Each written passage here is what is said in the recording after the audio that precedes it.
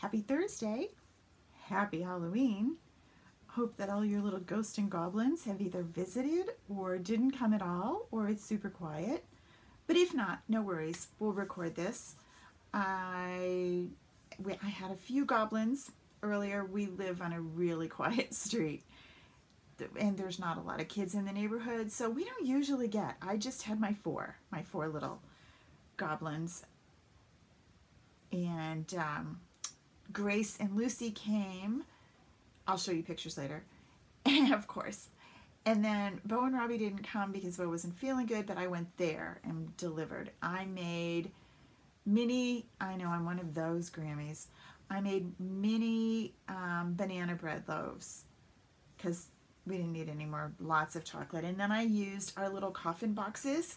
Hey, hey. And I stamped on those. I do have pictures, but they're gone. I, I they're on Sarah's phone, but I'll get them for you. And I stamped on the boxes and then put a little bit of M&Ms in them. So I was okay.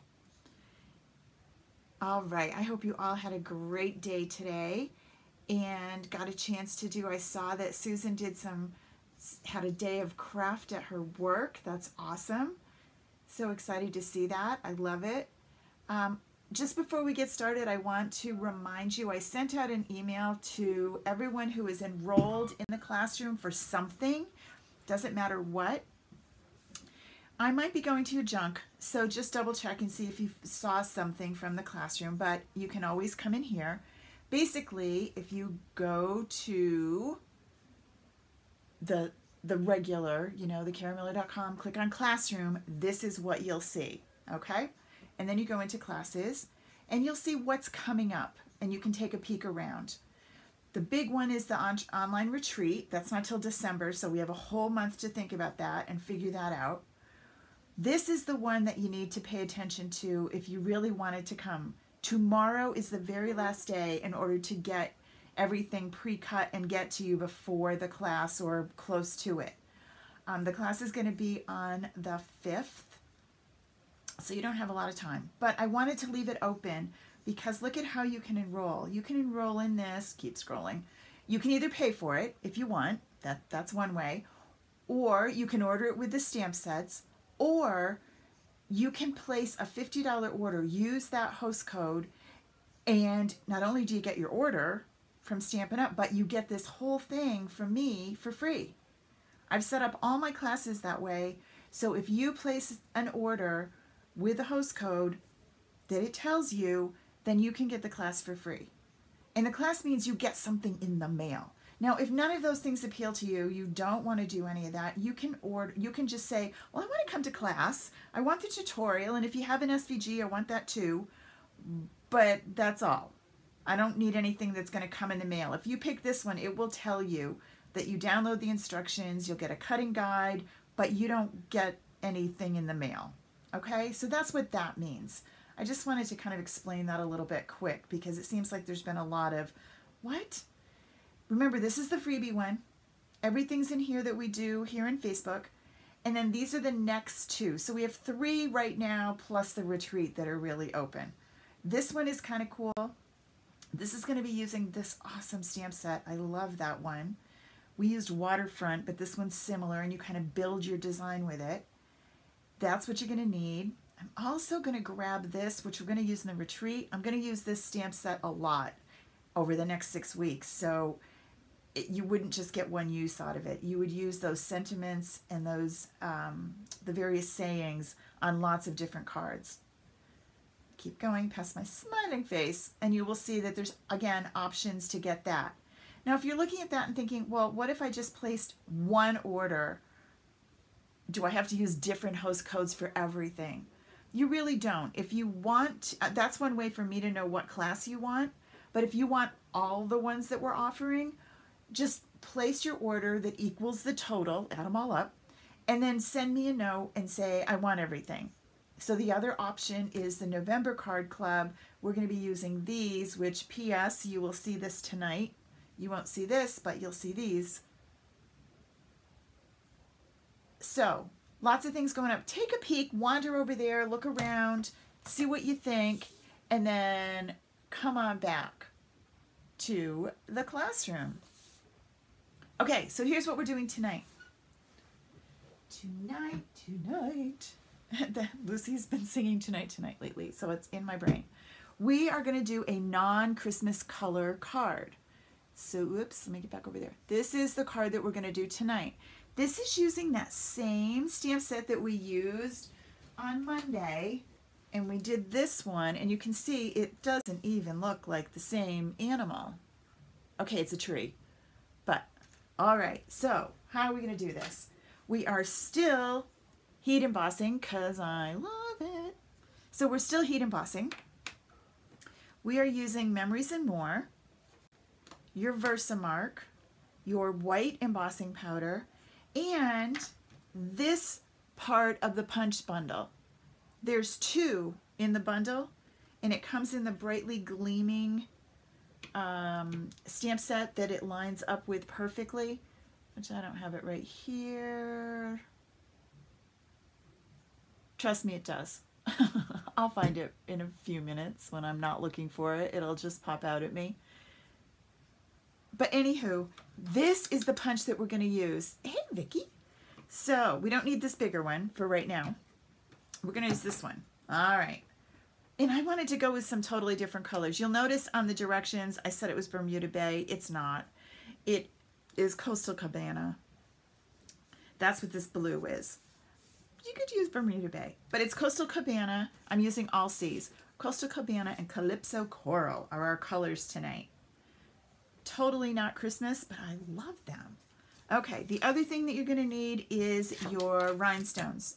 Just your, your regular plain old rhinestones. All right, let's get, and this is probably the easiest card I've ever given you cutting instructions for. It really is super, super easy. So you're going to cut your card base, which is to take your 8.5 by 11, cut it in half. So now I have an 8.5 by 5.5 I'm going to score at four and a quarter, and I'm doing that out of the Coastal Cabana, or Cabana. And there's my card front, all right? Now I'm going to take another piece, and I'm going to cut this to three and three quarters by five. Remember, tomorrow this is available, the brand new trimmer.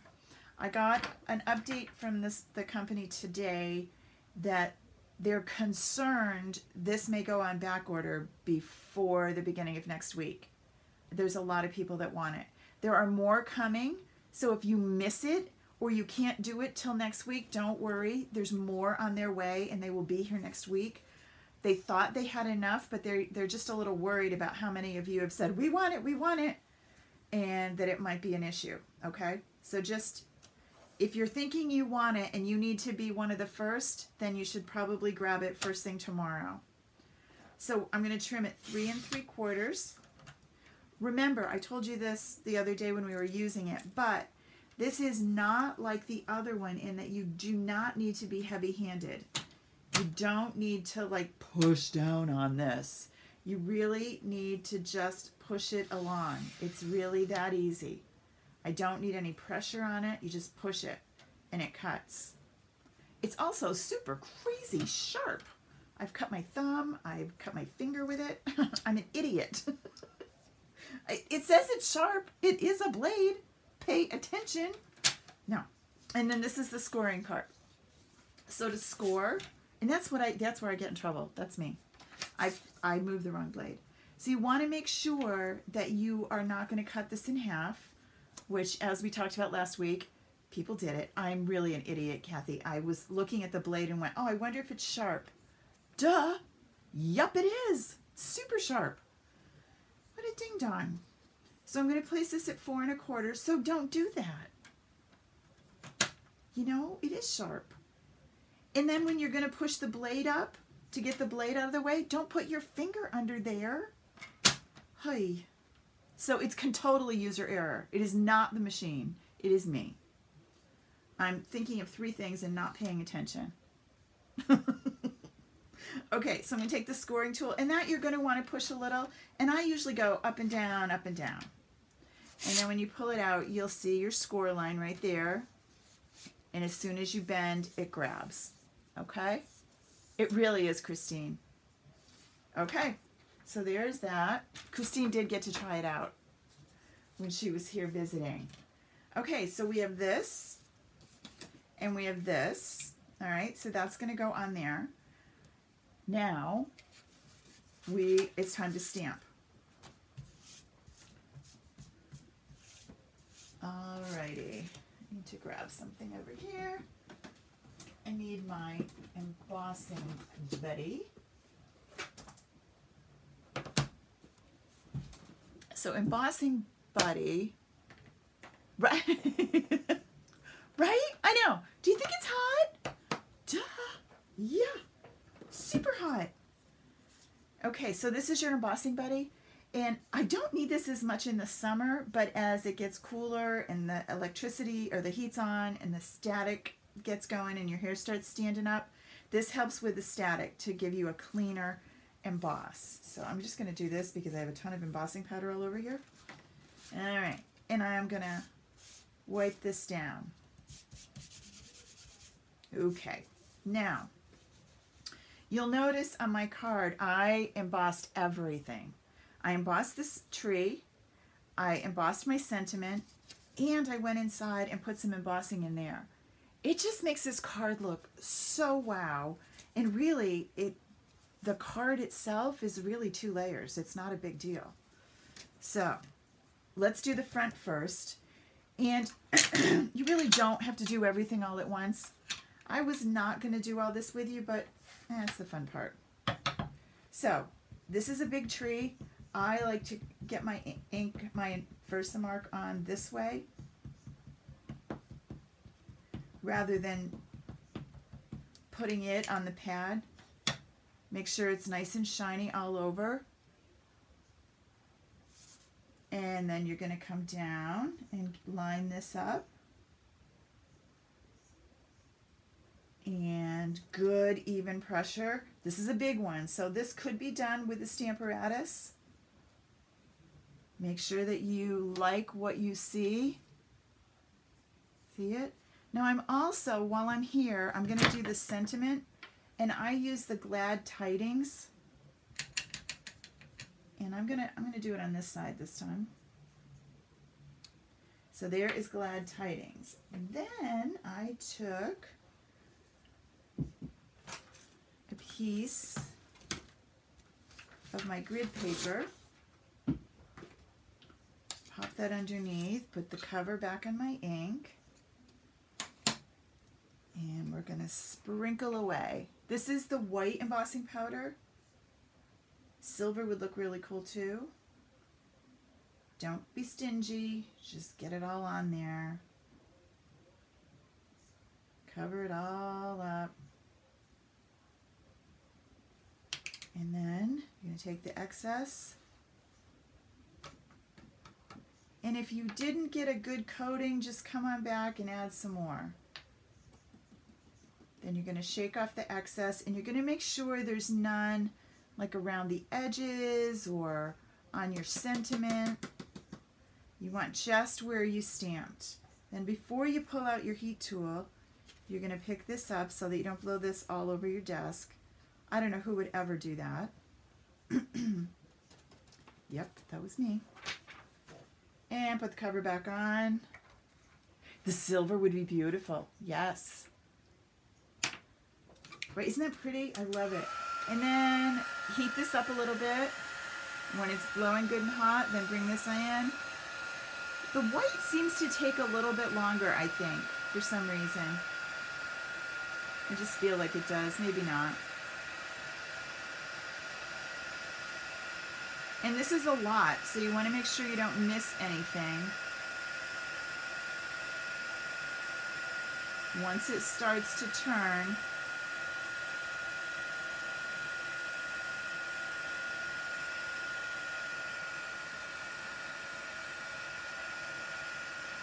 doo -doo.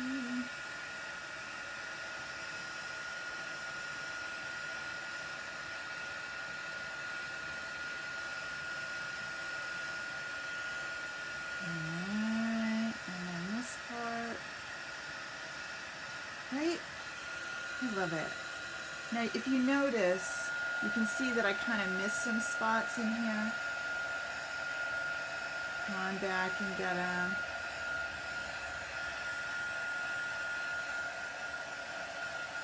All right, and we're good. Now we're going to let you sit up here for a minute. And then we're going to bring in our Calypso Coral. And we're going to use, there's two ornaments in this set. Both of them fit with this punch, right? It's not part of the bundle. It's a little extra, but it fits the memories of home. So then I'm going to take, now you could use other colors. I used the same, I just did three of the same color. But I used different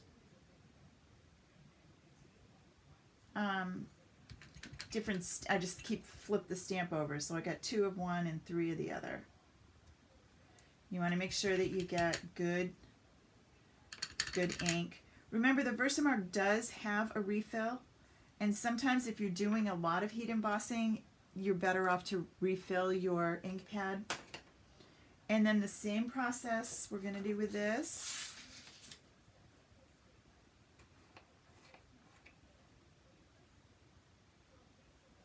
Doo -doo -doo. Again, good and heavy. And then shake this off.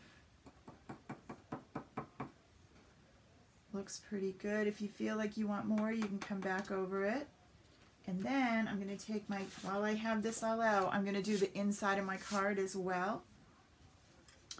And I use the, this sentiment that says, May your Christmas, I don't know, I can't read it upside down. it says, May your Christmas be filled with all the memories of home. I love that sentiment. Perfect. So a little Versamark. And a little stamp. And some more powder.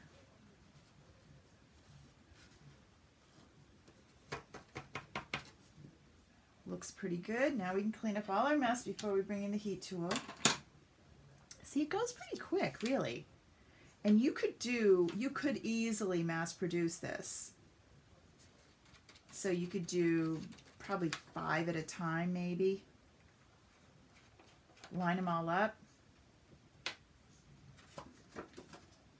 Now, if you have any excess, I use a little brush and just kind of trim. Don't touch the part you want to stay, but you can make sure there's no little feathers around the outside. I know we've done a lot of heat embossing this week, and if you've not done it before, really, this will just blow your Christmas stuff out the door. It's so cool.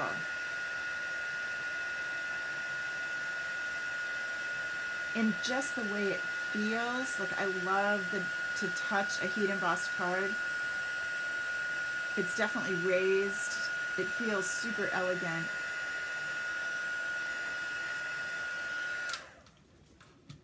Right? Okay, so there's that. Now remember, we're to bring this on the front. And let's do these guys too while we're heating.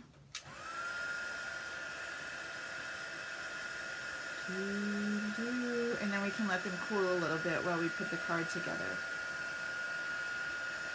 This kind of, this seems like it's going faster. The tree, I guess, because it's so big, takes a little bit longer.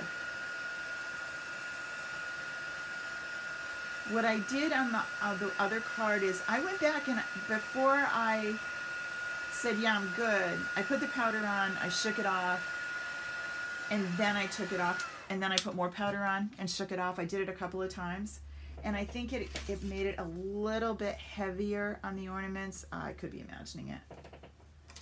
Okay, so let's put this, this piece on the front. A couple of choices. This is done straight down and tight, right? This one I'm going to do with some dimensional so that you can see how it looks. I do love the white. I think it's so pretty. And it would be pretty on any color. I mean, think on a cherry cobbler and some mossy meadow. Those colors would look great together. You could pop a layer of designer series paper in here to add a little a little frame behind it because I did this at three and three quarters by five which would let you pop in a four by five and a quarter underneath if you wanted a little something else. Some glimmer would look cool. Some of the foils would look great. I know, Kathy loves silver. Okay. And now we're going to pop this right on.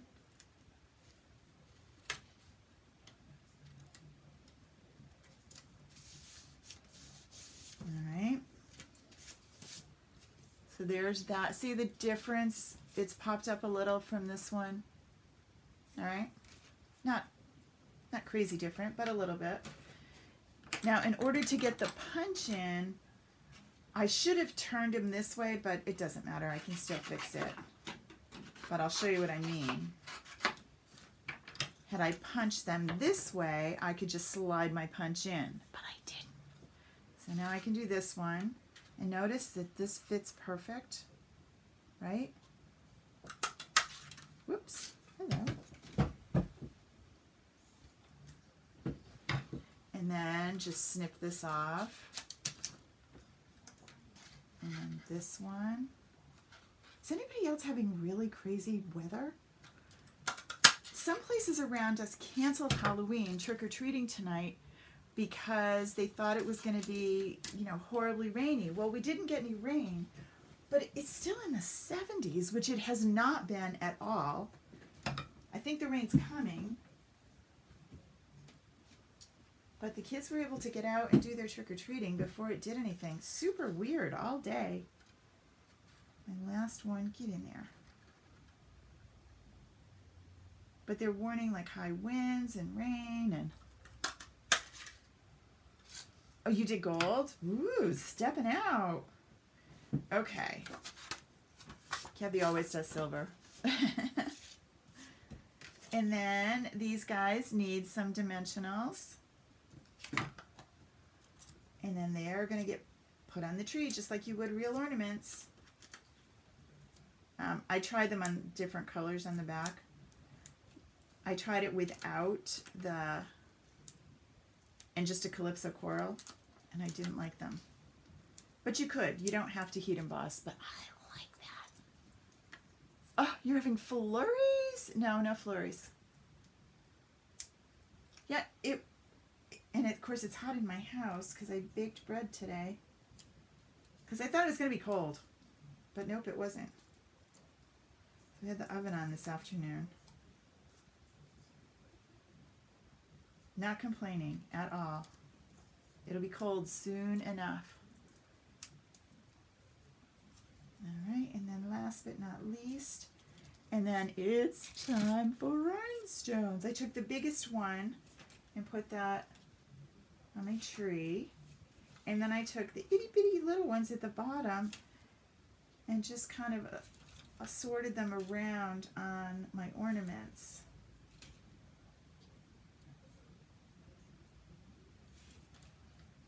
There. Isn't that cool? I love, you know, these colors are right up my alley. Beachy. I don't know, I live in the mountains, but I love the beach. Yeah.